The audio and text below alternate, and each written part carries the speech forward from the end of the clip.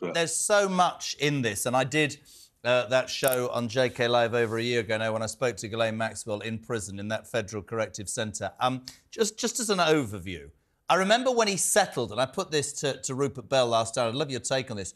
When he settled for 12 million, we were told platinum jubilee, your mother's health, blah, blah, blah. Not sure where you got the money from, selling the shallow, your mother gave you a few quid. Anybody with a brain cell would have gone, you don't pay 12 million quid unless you've got something to hide. Personally, I think he's beyond repair and done, and I think he is an embarrassment. I'd exile him. But here's the thing there are 177 names of possibly, could be anybody, kings, I don't know, I mean, anybody from any walk of life. But this never goes away. He has to be incredibly naive, does he not, to pay somebody and then think it's going to go away. This is going to rumble on and on. What do you think he should do, Tom Bower? Well, I think he should disappear. I think the real problem has been that his uh, brother, the king, has been far too lenient with him.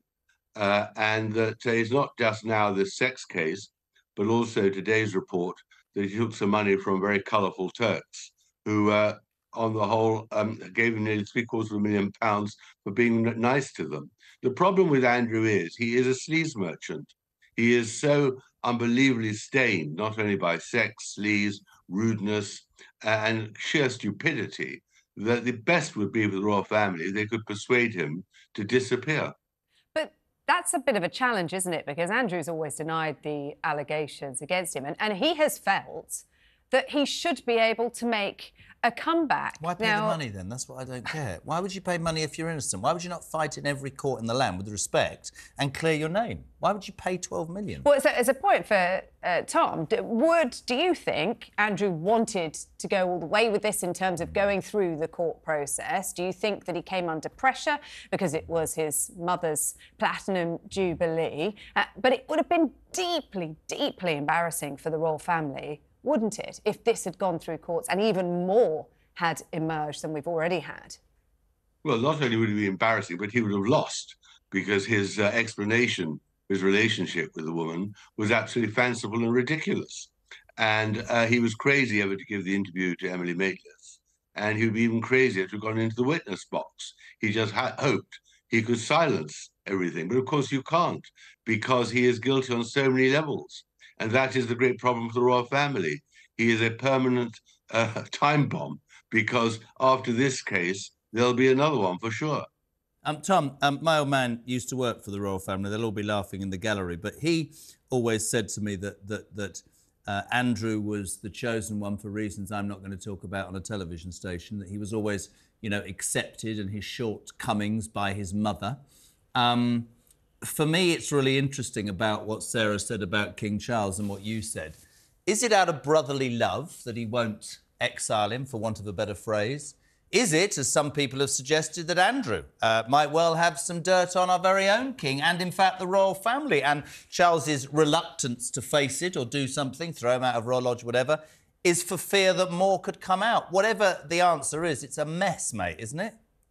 Absolutely, I agree with you. Of course, there's a lot that could come out, and that is exactly what King Charles fears, not only from Prince Andrew, but clearly from the Sussexes too. They all know things which we don't know, which would be absolute dynamite and undermine our faith in the monarchy. And he's all the time, King Charles is buying time and buying peace. Uh, that is the problem. After all these years, there's a lot of dirt which we haven't seen under the carpet. And I think, though, whether or not uh, the king might want to take a, a, softer hand with his brother when it comes to family uh, matters and not kick him out of the family. Actually, we see in Prince William a much stronger hand in terms of oh, I don't think Andrew being stripped I, of his I think titles when, when and, William's not king, being I don't think you will comeback. see or hear of, of, the Duke of York, do you? No. No.